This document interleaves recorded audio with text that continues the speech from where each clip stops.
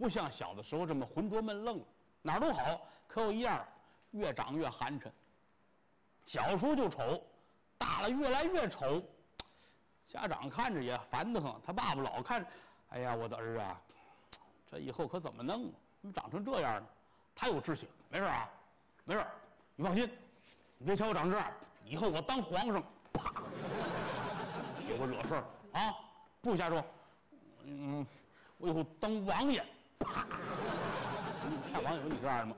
我我当驸马，啪，我当骏马，自个儿都知道往上唠啊，这胡说八道的啊！行行行，别别这样啊！一天到晚的给我惹祸啊！听话，哎，我听话。在家里是听话，出去可不是他了。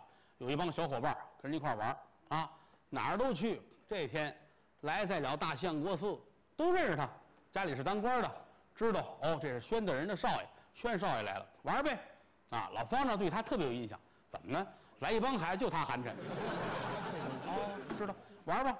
好，哪儿都去，这屋玩那屋玩，玩来玩去惹了祸了。怎么呢？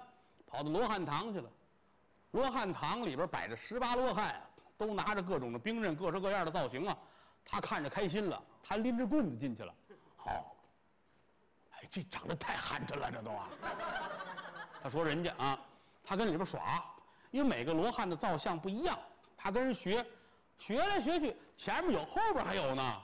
后边这一棍子，躺，后边这罗汉脑袋掉了。嗯，脑袋掉了，这怎么办？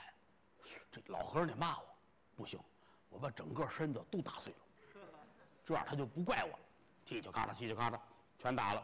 一会儿功夫，老和尚领着小和尚都进来了。您这干嘛拆迁呢？您这啊？我嫌他丑啊，我给他打了。老和尚都快哭了。你自个儿说的话，你信吗？啊，你嫌人家丑？现如今孩子孩子，你惹了塌天大祸，什么事儿？一会儿皇上来，啊，大相国寺烧香祈福。肯定要来罗汉堂，你知道吗？如果到这儿十八罗汉短一个，这可怎么办？你说吧，现弄来不及。现在想了想，我站这儿行吗？和尚看了看，太寒碜了。你凑合吧，那就凑合吧，归置利索了。等着吧，一会儿功夫，皇上真来了。老和尚说让人盯着那孩子边上走啊。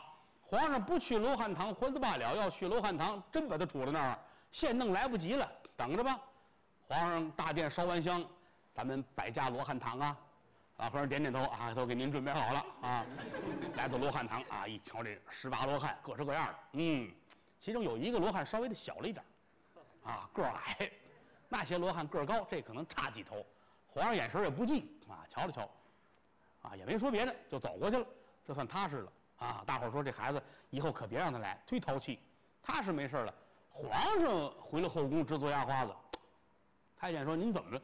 就是瞧十八罗汉有一个怎么那么寒碜呢？啊，怎么这么丑呢？啊，谁曾想到这么丑的人，日后上了梁山了，叫丑骏马宣赞。”梁山坡一百零八将，每一位英雄都有很多好玩的故事，一句话两句话可说不清楚。不过这些位英雄替天行道、铲恶除奸，可是为老百姓做了不少的好事。至今人们依然传颂这一百零八员好汉。